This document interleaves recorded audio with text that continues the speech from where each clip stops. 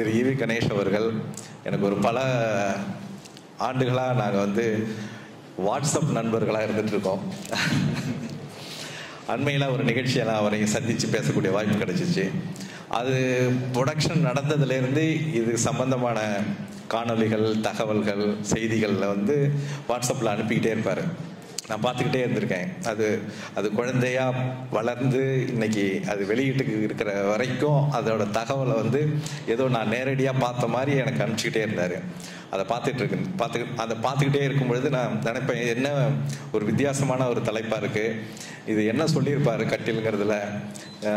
என்ன மாதிரி படம் மாதிரி? இது வந்து லைக் பாக்கியராஜ் படம் மாதிரி இருக்குமா? என்ன கட்டில்னு தலைப்பு இருக்குது அந்த மாதிரிலாம் நான் நிறைய யோசிச்சிருக்கேன். அவரை வந்து திரையுலகத்துக்கு வந்து எழுத்தாளராக நிறைய பேருக்கு தெரியும். இப்போ சினிமா தயாரிக்கிறது அதை வந்து அந்த எழுத்தாளர் வடிவத்திலிருந்து ஒரு இயக்குனராக போய் இயக்குனர் அவதாரத்துலேருந்து தயாரிப்பாளராக போகிறதுங்கிறது வந்து சாதாரண விஷயம் இல்லை. ஏன்னா நான் பதிமூணு வருஷமாக அந்த இண்டஸ்ட்ரியில் இருக்கிறதுனால அதோட அந்த பயணம் எவ்வளோ கடுமையாக இருக்கும் எவ்வளோ வழி நிறைந்ததாக இருக்கும் அப்படிங்கிறதெல்லாம் எனக்கு பலதரப்பட்ட அனுபவங்கள் இருக்குது அதாவது ஒரு தொழிலில் வந்து ஸ்ட்ராட்டஜின்னு ஒன்று சொல்லுவாங்க. அதாவது இந்த இந்த தொழிலில் வந்து இந்த மாதிரி ஒரு ஸ்ட்ராட்டஜி பண்ணால் ஜெயிச்சிடலாம் அப்படின்னு. சினிமா வந்து என்டர்டெயின்மெண்ட்டாக இருந்தாலும் அதுவும் ஒரு தொழில். அந்த தொழிலில் வந்து ஸ்ட்ராட்டஜியே கிடையாது. இப்படி இன்னைக்கு ஒரு படம் எடுக்கும் பொழுது இப்படி ஒரு பிரச்சனை இருக்கும். இன்னொரு படம் எடுக்கும் பொழுது நான் வேற மாதிரி ஒரு பிரச்சனை இருக்கும். அதனால் அந்த பரிணாமத்தில் இன்னைக்கு ஒரு படத்தை உருவாக்கி அவர் வந்து நான்கு மொழியில் இதை மொழிபெயர்த்திருக்காரு. அது வந்து சாதாரண விஷயம் கிடையாது. அதுவும் இப்போ இருக்கிற சினிமா சூழ்நிலையில் வந்து மிகவும் கடினமான ஒரு பணி. அது செய்தது மட்டும் இல்லை ஒவ்வொரு இடத்திற்கும் சென்று அந்த இசை வெளியீடாக இருக்கட்டும் முன்னோட்ட காட்சிகளை வெளியீடாக இருக்கட்டும் அந்த வெளியீடுகளை செய்து அந்த திரைப்படம் சரியான இடத்துக்கு கொண்டு சேர்க்கணும் அப்படிங்கிறதுக்கு ரொம்ப முயற்சிக்கிட்டு இருக்காரு. ஏன்னா இயக்குனர்கள் எப்பயுமே வந்து தங்கள் படம் வெளியான பிறகு அவங்க தயாரிப்பாளர்களை நம்பி இருப்பாங்க. இப்போ அவரே தயாரிப்பாளராக இருக்கும் பொழுது அந்த படத்தை கொண்டு சேர்க்கக்கூடிய கடமை அவருக்கு நிறையவே இருக்கு. அப்படி படம் செய்து விட்டால் அதாவது காசு இருந்ததுன்னா படம் எடுத்துடலாம். சினிமா எடுத்துடலாம். ஆனால் அதை ரிலீஸ் பண்ணக்கூடிய திறமைங்கிறது வந்து ஒரு அசாத்திய மலையேறும் திறமை வேணும்.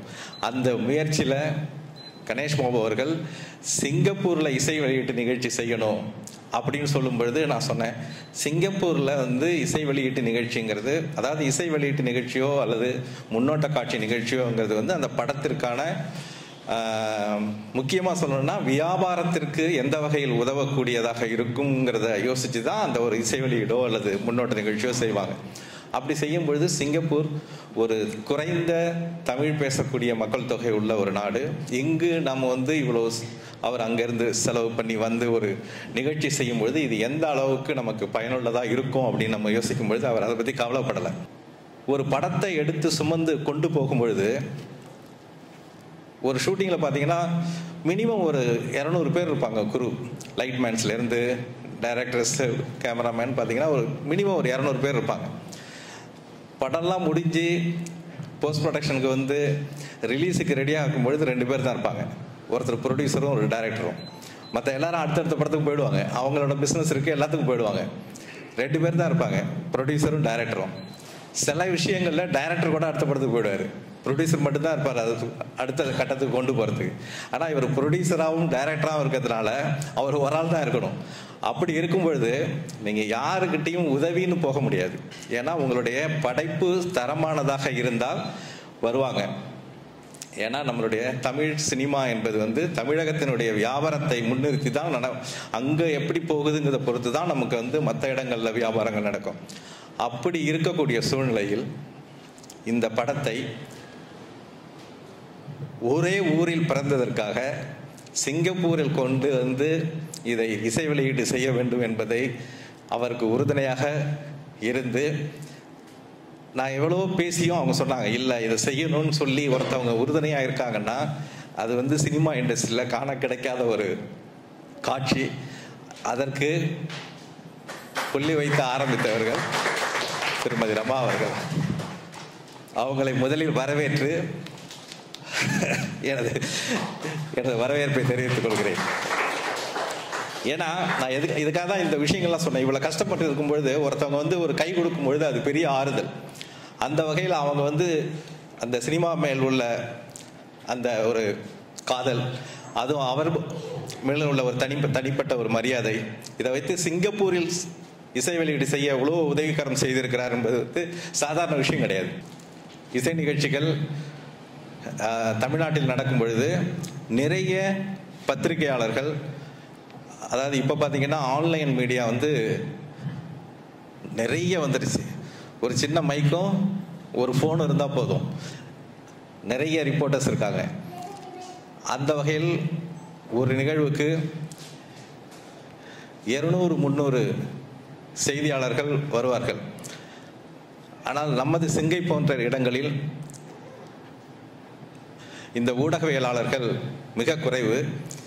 இருந்தாலும் நம் அழைப்பை ஏற்று வந்திருக்கும் அனைத்து ஊடகவியலாளர்களுக்கும் எனது வணக்கத்தையும் நன்றியும் தெரிவித்துக் கொள்கிறேன்.